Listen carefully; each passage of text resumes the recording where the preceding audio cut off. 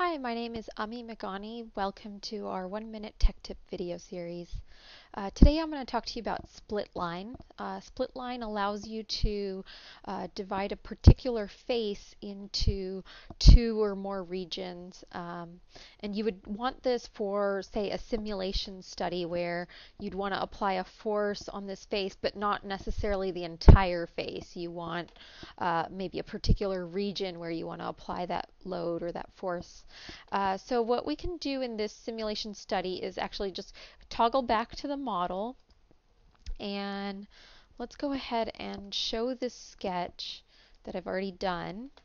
And I'm just going to go to the Insert Curve Split Line command.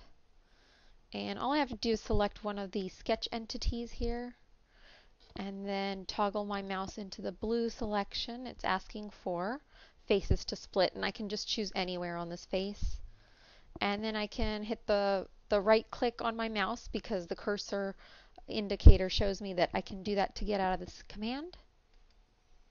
And now when I click, I can see that I have selectable regions here, and that's what I want uh, to run my analysis. So I can go back to simulation, right click, and apply a force on simply those four regions. Thanks for watching our one minute tech tip video.